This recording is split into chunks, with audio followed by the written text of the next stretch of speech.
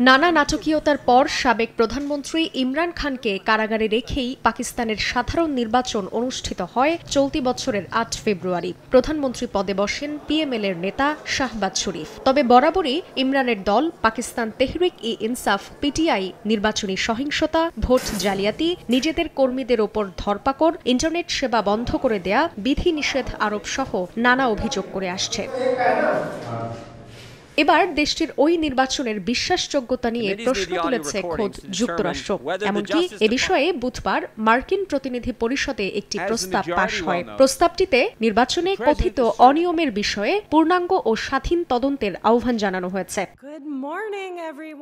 পাকিস্তানের নির্বাচন নিয়ে প্রশ্ন তোলায় ক্ষুব্ধ প্রতিক্রিয়া জানিয়েছে ইসলামাবাদ। জবাবে শুক্রবার যুক্তরাষ্ট্রের ওই প্রস্তাবের বিরুদ্ধে একটি পাল্টা প্রস্তাব পাশ করেছে পাকিস্তানের পার্লামেন্টও। এদিন ওয়াশিংটনের পদক্ষেপকে প্রত্যাখ্যান করে নিজেদের অভ্যন্তরীণ বিষয়ে কারও হস্তক্ষেপ মেনে নেওয়া হবে না বলেও সাফ জানানো হয়। নির্বাচনী তদন্তের পরিবর্তে গাজা ও কাশ্মীরের মানবিক সংকটের প্রতি মনোযোগ দেওয়ার পরামর্শ দেন পাকিস্তানের পার্লামেন্ট সদস্যরা। মার্কিন প্রতিনিধি পরিষদের সাম্প্রতিক প্রস্তাবের জবাবে পাকিস্তানের পররাষ্ট্রনীতি নিয়ে আলোচনার জন্য জাতীয় পরিষদের বিশেষ অধিবেশন আহ্বান করেন দেশটির উপপ্রধানমন্ত্রী ও পররাষ্ট্রমন্ত্রী ইসহাকদার 24 নগদের কাছে সব গ্রাহকই প্রিয়। তাই তো সারা দেশে ক্যাশ আউট চার্জ সবচেয়ে কম।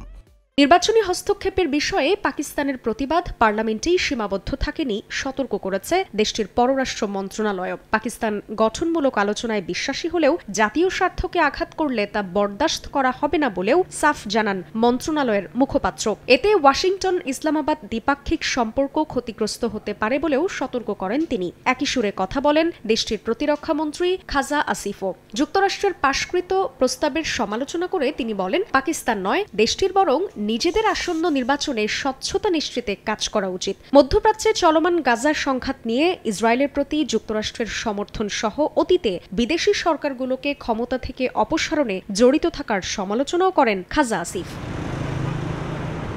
এ অবস্থার মধ্যেই যুক্তরাষ্ট্রে নতুন রাষ্ট্রদূত নিয়োগের সিদ্ধান্ত নিয়েছে শাহবাজ সরকার। এতে মাসুদ খানের স্থলাভিষিক্ত হবেন কূটনীতিক রিজওয়ান সাইদ শেখ।